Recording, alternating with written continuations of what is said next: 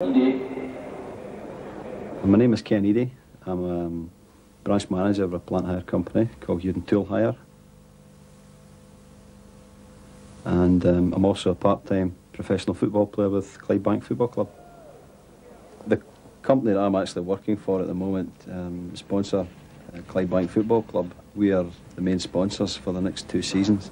Uh, my main job here is to is to make profit for the company um, as all the bosses would tell me. But you know, I've got a lot of day-to-day things that um, also come up, uh, which I've got to deal with. I don't tend to split it as office workers and, and, and workshop workers. We're, we're, sort of one big family in this depot. A lot of people don't realise that um, some part-time footballers have got other occupations during the day. Uh, they have to work sometimes over 40 hours a week, uh, as well as go to matches midweek and train midweek nights. And, it's a bit demanding at times. what some people don't realise is that uh, there's a lot of players in the game who are part-time, uh, like myself, but don't have another job, um, don't have employment, they're actually unemployed, um, and probably drawing dole money during a closed season, and they're not getting paid wages from the club. Your chance the other day. I think unless you're actually playing with one of the top four or five clubs in Scotland, I think it would be very difficult to, to make um, a lot of money out of the game.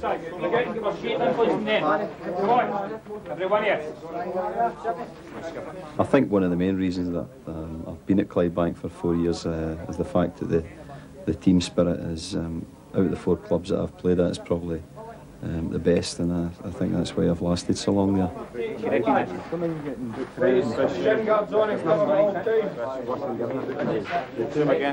Although that's your job, once it's done,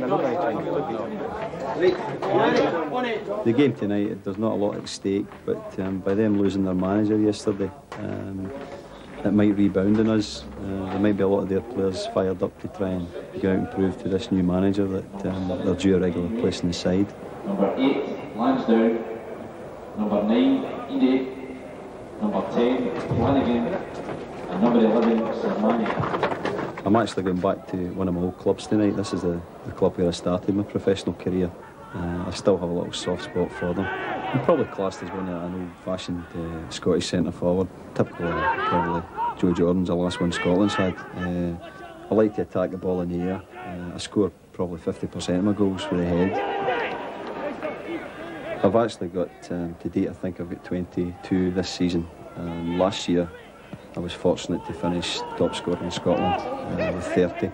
It's great to score. Whether it's at training or uh, at a game on a Saturday or a midweek game like tonight, um, every goal, doesn't matter if it hits the backside and goes in. It's a great feeling. But most strikers, if they start bad, if their touch isn't right, you know, they tend to struggle through the game.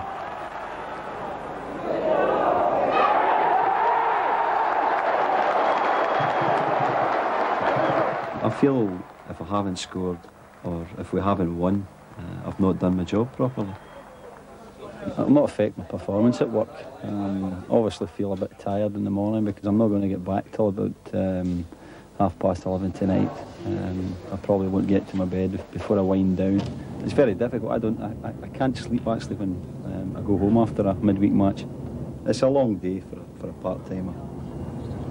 I'll be thinking about it for the rest of my life. What would have happened um, if I had taken the, the opportunity to go full-time with a bigger club? Something I don't try to dwell on. Part-time players look to the future, I think, um, if they have got a career behind them in something else. And certainly I've chose that option. And uh,